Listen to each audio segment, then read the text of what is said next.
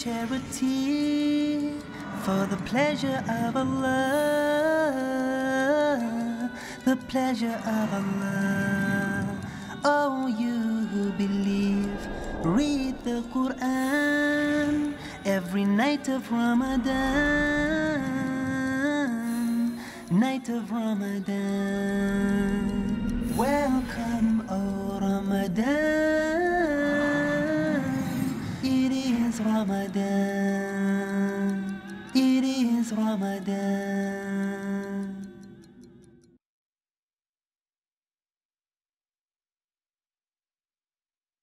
Dear brothers and sisters in Islam and humanity, Assalamu alaikum wa rahmatullahi wa barakatuhu. May the peace, the mercy, and the blessings of Allah subhanahu wa ta'ala be on all of you.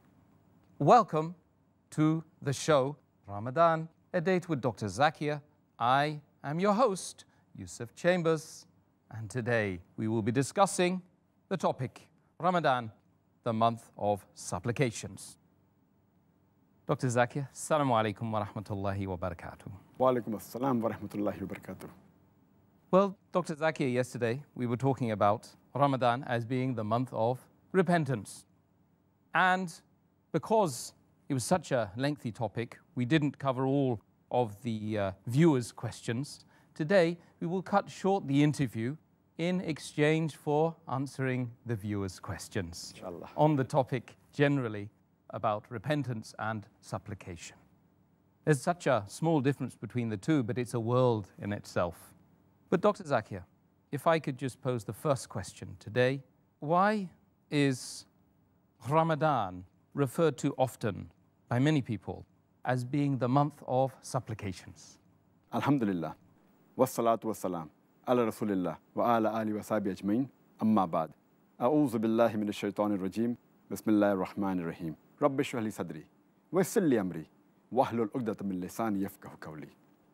Before I answer a question, I would like to first define what is the meaning of the word supplication. Supplication means to call upon Allah subhanahu wa ta'ala, the Almighty and Glorious, with devotion, with sincerity and solemnity, and with complete submission. And our beloved Prophet Muhammad said, it's mentioned in a Sahih Hadith of Tirmidhi, Hadith number 2616. Our beloved Prophet Muhammad said that there are three gates of goodness. The first is fasting, which is a shield from the hellfire. Second is a sadqa, that is charity. That charity extinguishes sin, same as water extinguishes fire. And the third is standing in prayer in the late hours in the night. So here we realize there is a relationship between supplication, prayer, and fasting. And Allah subhanahu says in the Quran, in Surah Baqarah, chapter number 2, verse number 186, Allah says that if my servants ask thee concerning me, tell them I am indeed close to them. And I listen to the prayer of every supplicant. And tell them that if they listen to my call willingly, and if they believe in me, I will take them to the straight path. Here we realize the closeness of Allah subhanahu wa ta'ala along with his believers, his servants and slaves. And he says, if my slaves, if my servants, my servants means the closeness that the human beings have with Allah subhanahu wa ta'ala. If they ask me concerning me, tell them I am indeed close to them. It shows the closeness between the believers and Allah subhanahu wa ta'ala. And he says, I will respond to them. And Allah further says in the Quran, in Surah Nisa, chapter number 4, verse number 32, but ask from the bounty of Allah subhanahu wa ta'ala. And our beloved Prophet Muhammad said, it's mentioned in Sahih Bukhari, volume number 8, hadith number 6502. The beloved Prophet said that Allah says, Ask me and I will give it to you. Ask me for protection and I will protect you. And as far as Ramadan being called as the month of supplication, a beloved Prophet said, it's mentioned in a Sahih hadith of Al Bayhaqi, hadith number 6393, where the beloved Prophet said that Allah subhanahu wa ta'ala does not reject the prayer of three kinds of people. One is the father who prays for his child, his son or daughter. The second is a fasting person, especially when he breaks his fast. And the third is a traveler. And our beloved Prophet he further said, it's mentioned in Sahih Hadith of Ibn Majah, Hadith number 1643. The Prophet said that Allah subhanahu wa ta'ala emancipates the slaves from the hellfire during every hour when the fast is broken. And does this every night. And our beloved Prophet also said, it's mentioned Sahih Hadith of Sahih At-Targhib, Hadith number 988. Allah subhanahu wa ta'ala ransoms the Muslims from the hellfire every day and night in the month of Ramadan. And he answers the prayer of every Muslim every day and night in the month of Ramadan. So because Allah subhanahu wa ta'ala, he listens to the supplication of the person who fasts and he gives a special status, that's the reason Ramadan is called as the month of supplication. Beautiful reason for calling it the month of Ramadan as being the month of supplication. And furthermore, I'd like to ask you, Dr. Zakir, if you could explain what are the etiquettes of supplicating towards Allah subhanahu wa ta'ala? The person should remember that he should only ask from Allah and no one else. Allah says in the Quran, in Surah Fatiha, chapter number 1, verse number 5, إِيَّاكَ wa وَإِيَّاكَ نَسْتَعِينَ They alone we worship, they alone we ask for help. You should ask only from Allah subhanahu wa ta'ala. Allah says in Surah Ghafir, chapter number 40, verse number 60, You ask me and I will answer your prayer. You can ask from Allah subhanahu wa ta'ala anything. Even if it be a small thing or a big thing, no problem. You can ask Allah subhanahu wa ta'ala anything. And furthermore, we should ask Allah subhanahu wa ta'ala with humbleness and with humility. That's point number three. Point number four, when we ask Allah subhanahu wa ta'ala, we should ask with confirmed hope that inshallah, Allah is going to answer our supplication. Number five, we should ask Allah subhanahu wa ta'ala with fear. We should ask with taqwa, fear of Allah subhanahu wa ta'ala. Number six, we should ask Allah subhanahu wa ta'ala with extreme longingness that inshallah we long this and he will answer our prayer. Besides these six points, there are some additional things which are important when a person supplicates. It's preferable, for example, a person should preferably be in wudu, in ablution. It's not a fard. He can even supplicate without being in wudu. But if he he's like a person is in prayer, it's preferable that he's in wudu. Point number two, it's preferable that he's facing the Kaaba while supplicating, though it's not a fard. Point number three, he should repeat his supplication. It's preferable to repeat as much as possible. And point number four, he should ask Allah subhanahu wa ta'ala with single-mindedness and with longingness, as our beloved Prophet said. It's mentioned in a Sahih Hadith of Tirmidhi, Hadith number 3479, that the beloved Prophet said that a person should ask Allah subhanahu wa ta'ala with single-mindedness. And inshallah, Allah will answer his prayers. And Allah subhanahu wa ta'ala does not like a person who asks with his heart when it is toying with trifle things. Heart is not in one place. So these are some of the tickets of a person supplicating to Allah subhanahu wa ta'ala. Jazakallah khair, Dr. Zakir. Regarding the aspects of uh, etiquette, of course, you've, add, you've added some uh, important points now, and that's very useful. What about the, the time and the place of supplication? Does that matter? As far as a person is concerned, he can supplicate to Allah subhanahu wa ta'ala any time of the day, any time of the night, 24 hours of the day. But there are some times which are preferred. For example, immediately after the obligatory prayers. For example, especially the day of Jummah, when a person is fasting, especially when he's breaking his fast. And when a person is praying in the sujood. Also, in the late hours of night. And the beloved Prophet said, it's mentioned in Sahih Muslim, hadith number 1655, the beloved Prophet Muhammad said, that there is an hour during the night in which there will not be a Muslim who will ask for the good without Allah subhanahu wa ta'ala granting it to him. That means there is an hour which Allah subhanahu wa ta'ala, whatever the Muslim asks, supplicates, Allah will grant him. Further, beloved Prophet said, it's mentioned in Sahih Muslim, hadith number 1657, that Allah subhanahu wa ta'ala descends to the lowest heaven after one third of the night is over. And then he says, I'm your Lord, I'm your Lord. Is there anyone who's there to supplicate to me and I will answer him? Is there anyone to beg and I will grant it to him? Is there anyone that requires forgiveness and I will forgive him? So one of the good times is during the late hours of night, where Allah subhanahu wa ta'ala descends. And the hadith continues and says that Allah continues asking these questions till the dawn breaks. So one of the good times to supplicate is the late hours of night, just before dawn. SubhanAllah. Let's all get up and make sure. Does that mean uh, the last hours of the night? Meaning like, Tahajjud, which you offer late one third or the middle third of the night. And as far as the place is concerned, again, a person can supplicate in any place. As the beloved Prophet said, it's mentioned in Sahih Bukhari, volume number one, in the book of Salah, hadith number 438, that Allah subhanahu wa ta'ala has made for me and the believers the full earth as a place to pray. The full earth is a place where you can pray to Allah subhanahu wa ta'ala. But in spite, there are certain places that if you supplicate in the mosque, it's preferable.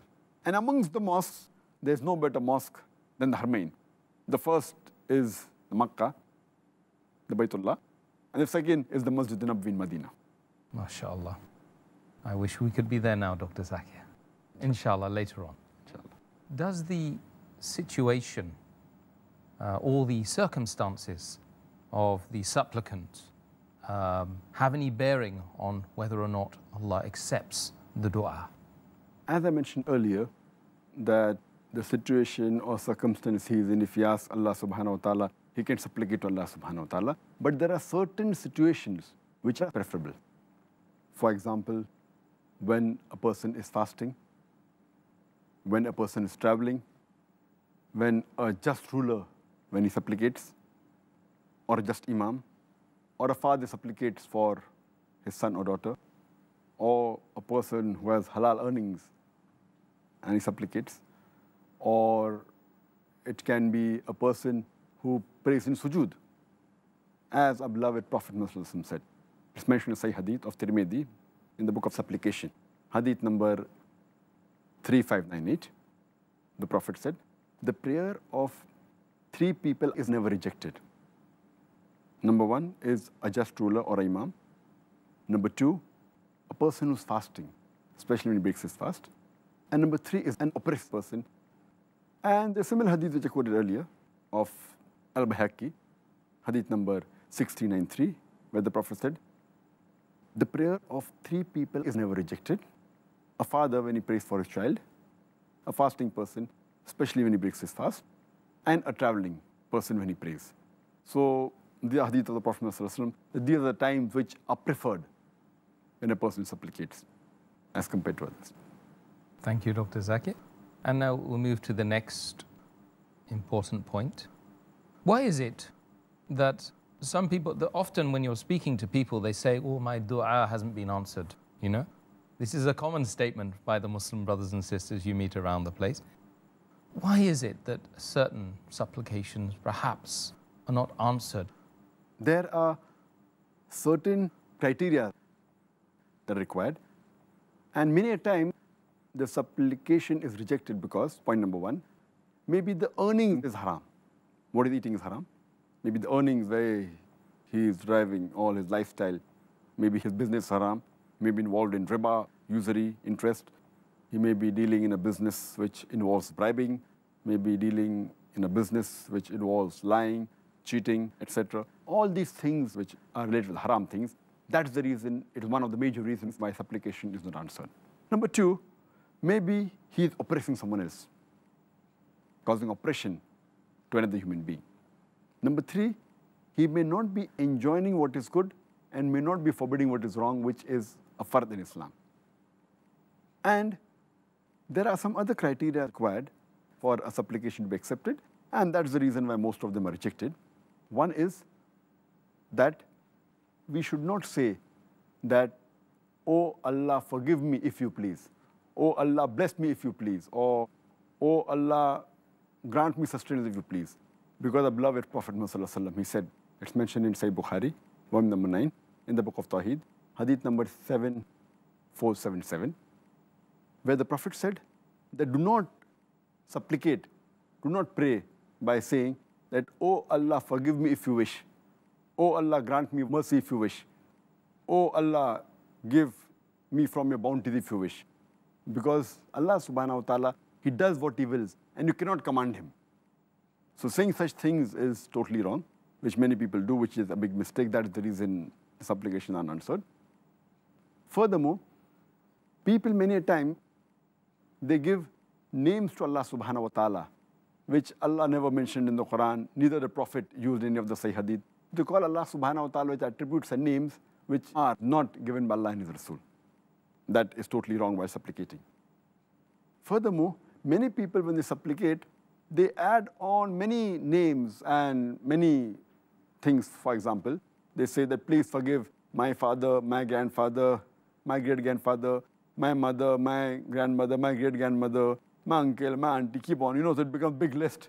Instead of that, it's preferable to be brief and say that please forgive my family or please forgive my relatives or my brothers and sisters in Islam. That's sufficient. And one of the other mistakes that people make is they normally supplicate very loudly.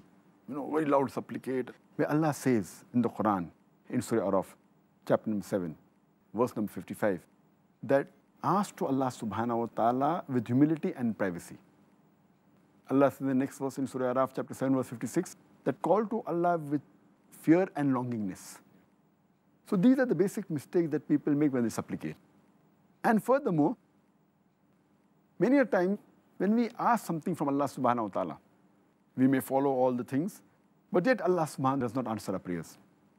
Allah says in the Quran in Surah Baqarah, chapter number 2, verse number 216, that you may dislike a thing which may be good for you, and you may like a thing which may not be good for you. Allah knows and you do not know. There may be a situation where a Muslim may pray to Allah subhanahu wa ta'ala, that Ya Allah subhanahu wa ta'ala, give me a motorcycle, a BMW. I want a BMW 1000cc. And Allah does not answer his prayer. Because Allah knows that if Allah gives him a BMW, he may go fast, he may have accident, he may fracture his leg. So Allah subhanahu wa ta'ala, by not answering his prayer, is actually answering him. So Allah subhanahu wa ta'ala is the knower of the unseen, of the future. So you may like a thing which may not be good for you. Allah knows and you do not know. Jazakallah khair. Um, that means the next question is very appropriate. So, uh, would you uh, now tell the viewers some authentic du'as which are good for them that they can make in this month of mercy? There are hundreds of du'as which are authentic. And if you can refer to the book, Fortification of a Muslim, through the supplications from the Quran and the authentic hadith, it's a book published which has more than 100 du'as. I think 129 to be precise. I'll just mention a couple of them from the Quran and the Hadith since your request is that. The most general dua, which is there in the Quran in Surah Baqarah, chapter number 2, verse number 201, is Rabbana atina fid dunya hasnatan wa fil akhirati hasnatan qina azabin nar. O oh my Lord, give us the good in this world and the hereafter, and save us from the torment of hellfire. This is the general dua, which is general and the best. There are various other du'as given in the Quran, and the du'as of the Quran are the best because this is the words of Allah subhanahu wa ta'ala himself. Allah says in Surah Al Imran, chapter number 3, verse number 8, Rabbana la tudi qulubana, ba'd iz hadaytana, wahablana, min ladunka antal wahab. Which means, O Lord, let not our hearts deviate after thou hast guided us. And grant us mercy from thy bounty, for thou art the granter of bounties. The other dua which I always make in the starting of any lecture, which is asking for help from Allah subhanahu wa ta'ala, which you can do when you begin any speech or when you're doing something which is very difficult, is the dua which Musa alayhi salam made when Allah subhanahu wa ta'ala asked Musa alayhi salam then go and give the message to Pharaoh. So it's mentioned in Surah Taha, chapter number 20, verse number 25 to 28. Rabbi shrah li sadri, wa yassir li amri, wa halul uqdatam min lisani yafqahu qawli. Which means, oh my Lord, expand my breast for me and make my task easy for me and remove the impediment which is in my speech so that they will understand me. And you know Musa alayhi salam, he was a stammerer. And as many people are aware that even I, during my childhood, I was a stammerer. And even now I sometimes stammer. So that is the reason I read this dua at the beginning of every talk. So Musa asked Allah subhanahu wa ta'ala to remove the impediment from his speech. And furthermore, so that they will understand me. And there is a barrier many a time between you and the person to whom you're giving the message. So we pray to Allah subhanahu wa ta'ala, may that barrier be removed. Therefore, before every talk, I supplicate so that the audience, if there's any barrier between the audience and myself, it is removed. These were just few du'as from the Quran. There are several authentic du'as even from the Hadith. There's a Sahih Hadith in Tirmidhi as well as uh, Sayyid Ibn where the Prophet said that anyone who says Subhanallah wa bihamdi, which means glory be to Allah and praise be to Allah, then Allah subhanahu wa ta'ala will plant a date tree for that person in paradise. The other hadith which is there mentioned in Sahih Muslim, Book of Fiqh, hadith number 6509, where the beloved Prophet said that anyone who says Subhanallah wa bihamdihi, glory be to Allah and praise be to Him, if he mentions 100 times, there's nothing more excellent for him on the day of judgment, on the day of resurrection. Nothing better than that. Except someone who says similar words or someone who says something better. A similar hadith is mentioned in Sahih Bukhari, volume number 8, hadith number 6405, where the beloved Prophet said that anyone who says Subhanallah wa bihamdihi, glory be to Allah, and praise be to Allah a hundred times, his sins will be forgiven. Even if his sins are equal to the foam of the sea. And there are various authentic hadith. It also says in Sahih Muslim, hadith number 749, that when you hear the call of the muaddin, then you have to pray and say that I testify that there is no one worthy of worship except Allah subhanahu wa ta'ala. And he has got no partners. And Prophet Muhammad is the slave and messenger of Allah subhanahu wa ta'ala. And I'm pleased with my Lord, who's Allah subhanahu wa ta'ala, and I'm pleased with my messenger, Muhammad alaihi and I'm pleased with my deen Islam. Anyone who says this, his sins will be forgiven. There are various such hadith. For example, after the Salah obligatory prayers, we say Subhanallah, we say Alhamdulillah, we say Allah Akbar. If you say 100 times, then your sins will be forgiven. There are other hadith, like after the obligatory prayer, we say Allahumma anta salam wa minka salam, tabakta. And in traveling, when we board any vehicle, any plane, any car, etc., dua which a prophet has said that Subhanallazi sakralana haza wa ma kunna lo mukrinin wa inna ila rabbina munkalibun. So these were just a few samples of the authentic duas from the Quran and the Sahih Hadith. Jazakallah khair, Dr. Zakir. As promised, cutting short the interview phase um, to allow for viewers questions on the topic, if you don't mind, that is. My pleasure. We will now address some very important questions from the viewers on the topic. Now, question one from one of the viewers the meaning of Allah's faddal. When we say, O Allah, I ask to give me from your grace, faddal, does it mean that we are precisely speaking about wealth? The word fadl actually means the grace or the favor of Allah subhanahu wa ta'ala. Fadl of Allah subhanahu wa ta'ala. But literally, the word fadl, it means surplus. It means that you're giving something to someone without any payment. And when we say it is the fadl of Allah subhanahu wa ta'ala, like we say, Hada bin fazli rabbi. This is by the fadl of Allah subhanahu wa ta'ala. This is by the grace and favor of Allah subhanahu wa ta'ala. It means that the person receiving it, he actually does not deserve it. And Allah subhanahu wa ta'ala, out of his mercy and grace, has given all these things. So when we say it is because of fadl of Allah subhanahu wa ta'ala, we are actually telling that Allah subhanahu wa ta'ala has given us all these good things. It may be the wealth, not has to be wealth. It can be a good house, it can be a car, it can be whatever thing. He's given out of His grace and mercy, and we actually do not deserve any of this. It's only because of His grace that we have got it. So this is actually understanding that to show that we actually don't deserve all these things. And Allah subhanahu wa ta'ala out of His mercy and grace, because of being kind to His servants and slaves, He's giving all these things. And Allah says in the Quran, in Surah Nahl, chapter number 16, verse number 61, that if Allah subhanahu wa ta'ala had to punish each of the human beings for his wrongdoing, there would not be a single living creature on the face of this earth. So all this is due to the fadl of Allah subhanahu wa ta'ala. The mercy of Allah, rahmah of Allah subhanahu wa ta'ala. The second question posed by one of our dear viewers, Dr. Zakir, is what exactly is meant by the meaning of the word lamam? Translated here as, I believe, small faults in the verse of Surah Najm. There's a verse in the Quran, in Surah Najm, chapter number 53, verse number 31 and 32, where Allah subhanahu says that to Allah belongs everything in heavens and the earth. Allah subhanahu wa ta'ala has created everything in the heavens and the earth.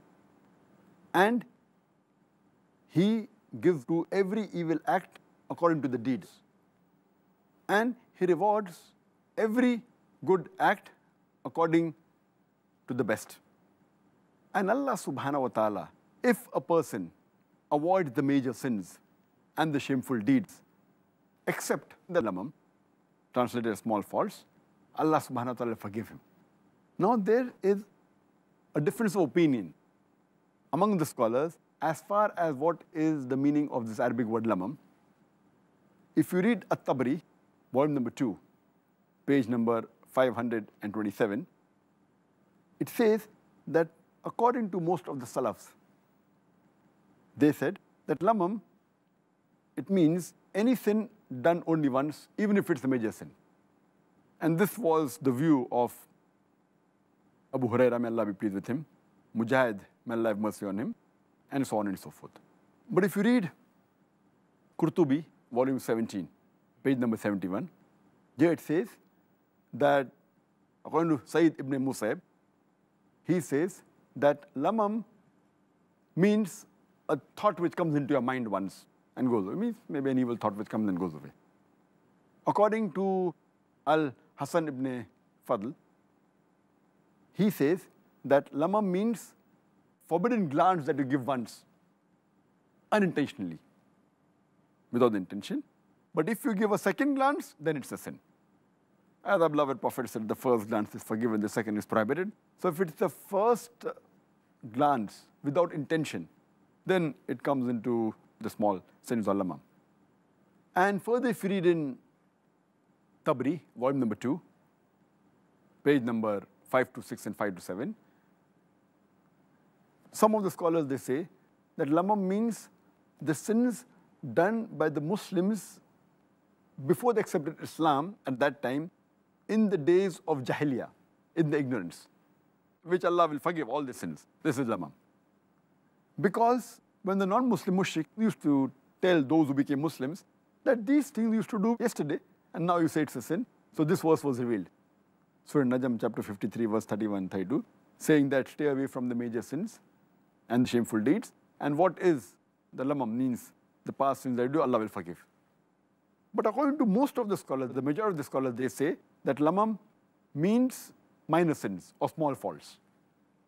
And further, if you read the view of Imam Raghib, he says that lamam means small minor sins and the hadith of Sahih Bukhari, volume number 8, hadith number 6243, where Ibn Abbas, may Allah be pleased with him, he says that he does not know the meaning of lamam except what he heard from Abu Hurairah, may Allah be pleased with him, who says that the Messenger of Allah said that every son of Adam has his share of adultery and he does it inevitably.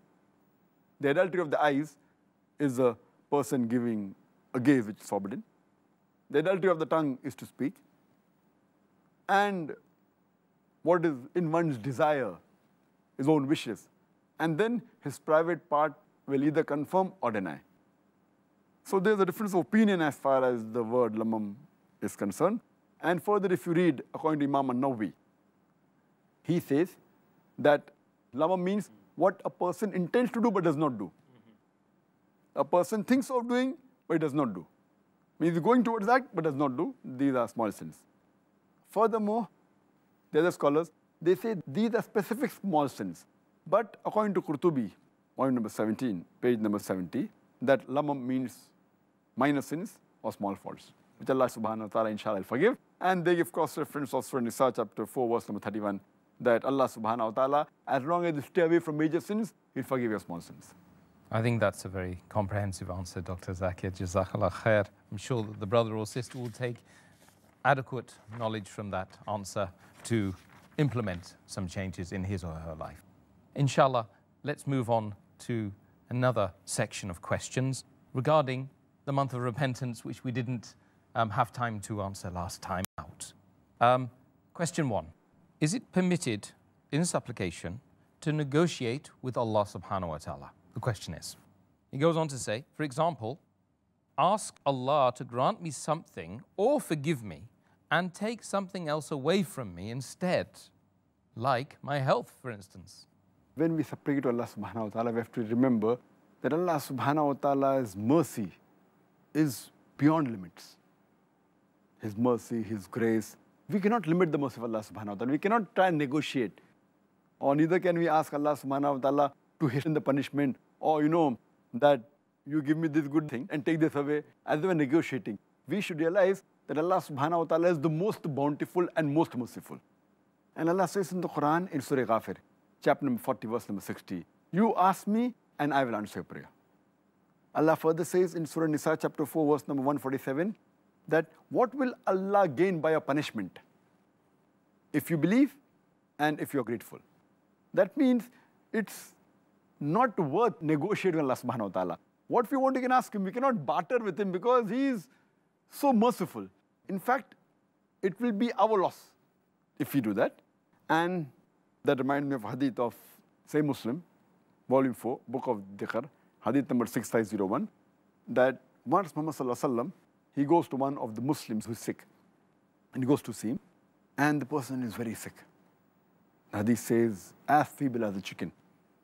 Prophet Muhammad asked him, that did you ask for something or did you beg Allah for something? So the person says, yes, I pray to Allah subhanahu wa ta'ala that to hasten my punishment, what I'm going to get in akhirah, let me have it in this world. And then Allah's messenger says that you don't have the forbearance to bear the punishment of Allah subhanahu wa ta'ala. In fact, you should have asked, Rabbana atina fid dunya hasnatan wa fil akhirati. That's what I quoted earlier.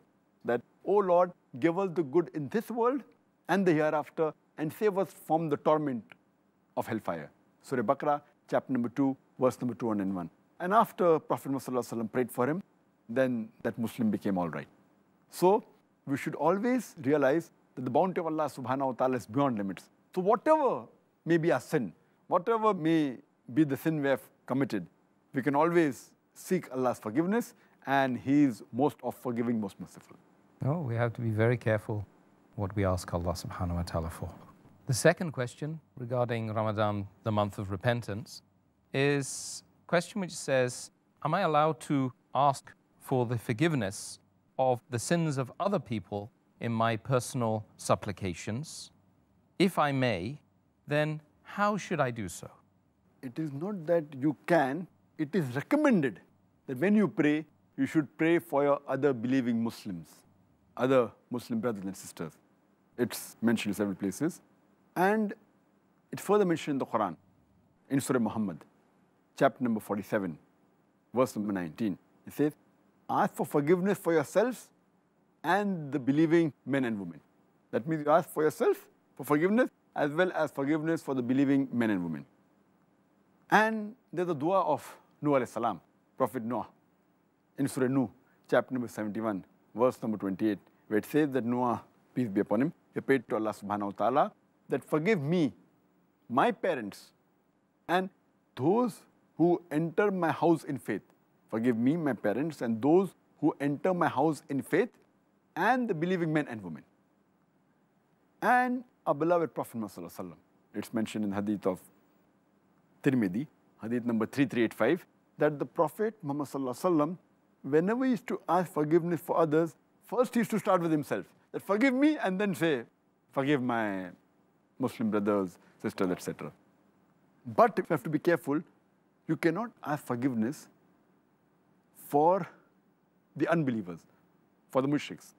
For Allah says in the Quran, in Surah Tawbah, chapter number 9, verse number 113, that it is not befitting for the Prophet and for the believing men and women to ask forgiveness for the pagans who are associating partners with Allah subhanahu wa ta'ala, even if they be your kith and kin.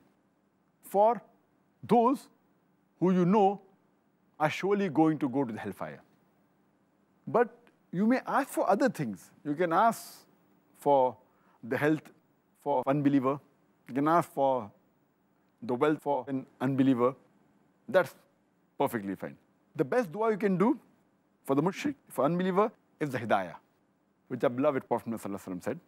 It's mentioned in hadith of Tirmidhi, hadith number 3681, where the beloved Prophet said that out of the two Umars, may Allah give hidayah to one Umar.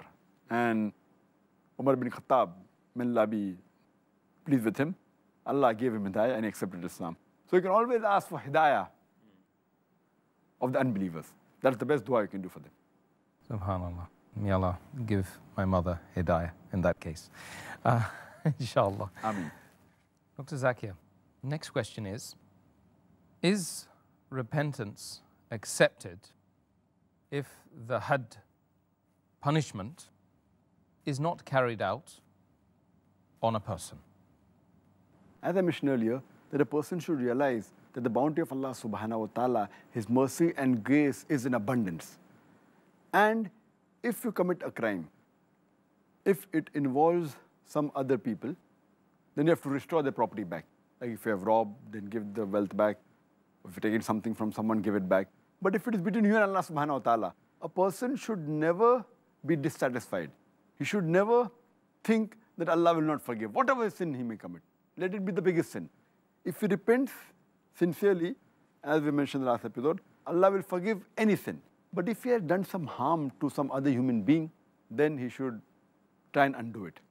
And Allah says in the Quran in Surah Furqan, chapter number 25, verse number 68, and as for those who do not invoke with Allah any other God, or do not take any life of any other human being unless for a just cause, or do not indulge in adultery, and for those who do it, for them there is a punishment. And Allah continues in the next verses.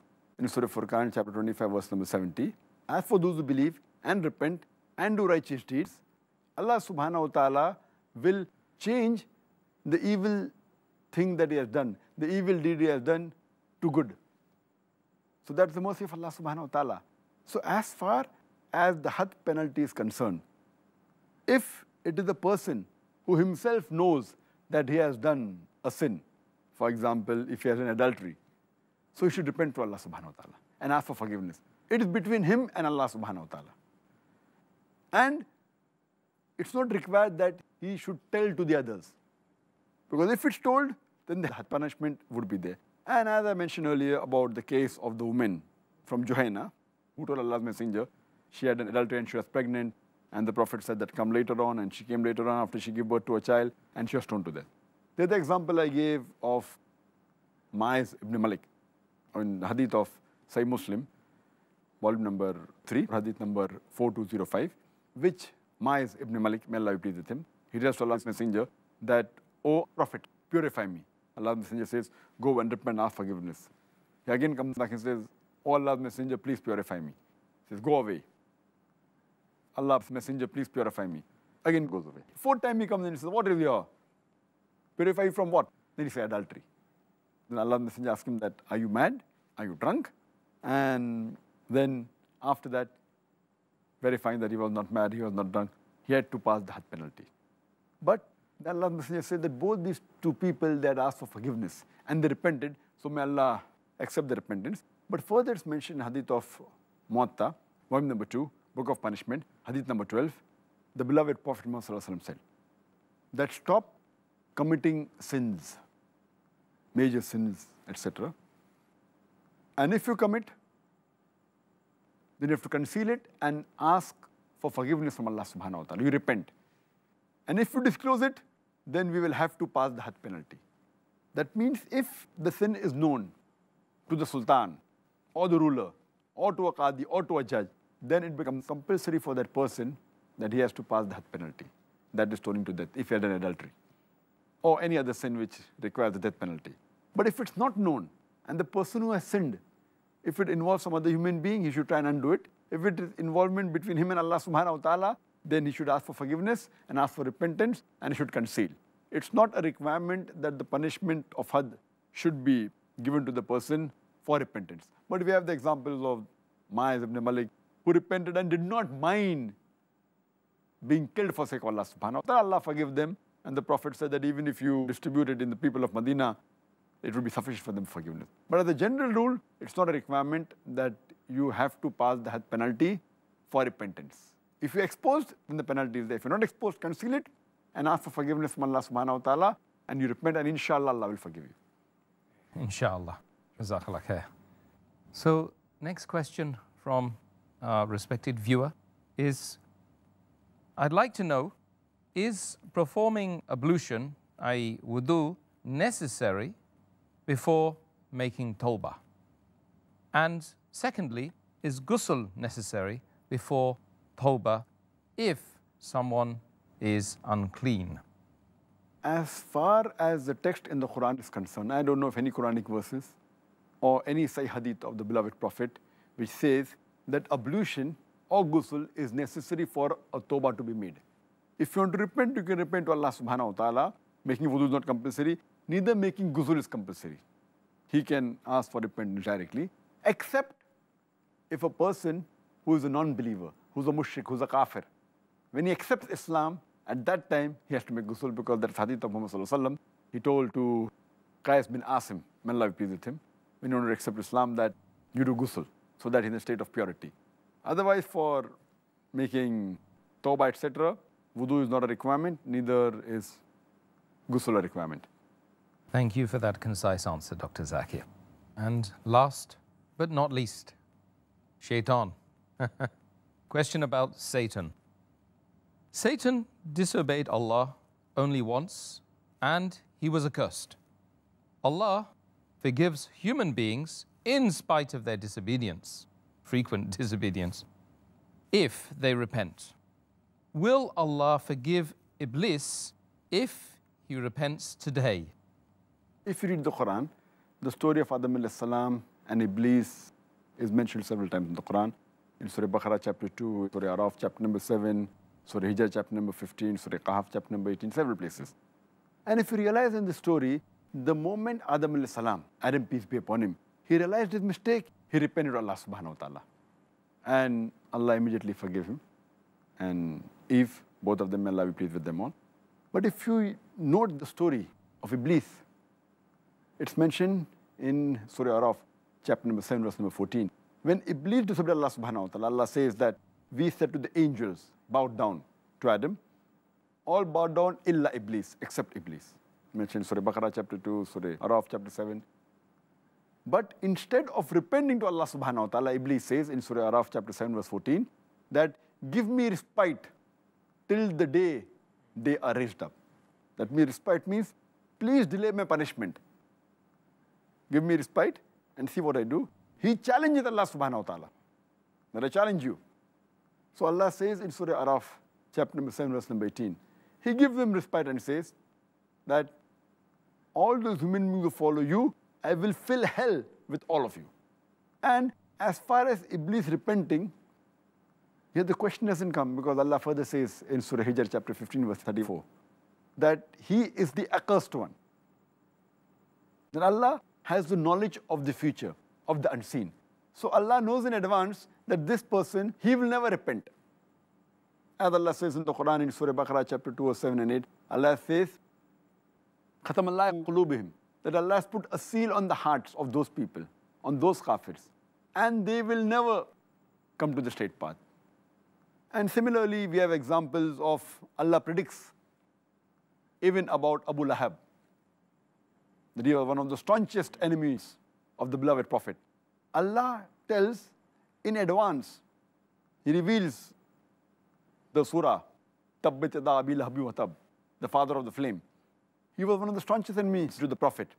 And he says that he will never accept Islam and he will burn in hell. It was a prediction. All he had to do to prove the Quran wrong was to say that I'm Muslim and say the Shahada. Ten years he had the opportunity, he did not do it. So Allah knew they will never repent. Similarly, Allah subhanahu wa ta'ala knows that Iblis, he will never repent. So that is the reason he has said that he is to you an avowed enemy. Allah says in Surah Baqarah chapter 2 verse 168 that Ya ayyuhallazina amanu, O you believe, be careful of the khutwatu shaitan, of the footsteps of the devil, for he to you is an avowed enemy. So with all the verses of the Quran, we realize that Iblis will never repent, and Allah knows that, therefore he is called, the avowed enemy of the human being, and he is accursed. So he will never repent, he'll never ask for forgiveness. Well, Dr. Zakir, we've reached the end of our question and answer session.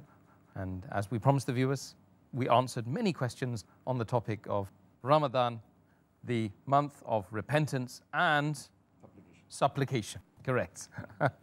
Thank you for reminding me.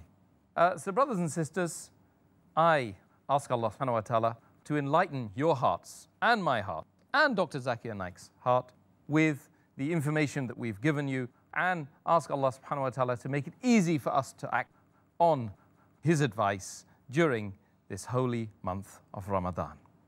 Please do join us tomorrow when we will be addressing the topic Qiyam al-Layl. And I wish you all the best.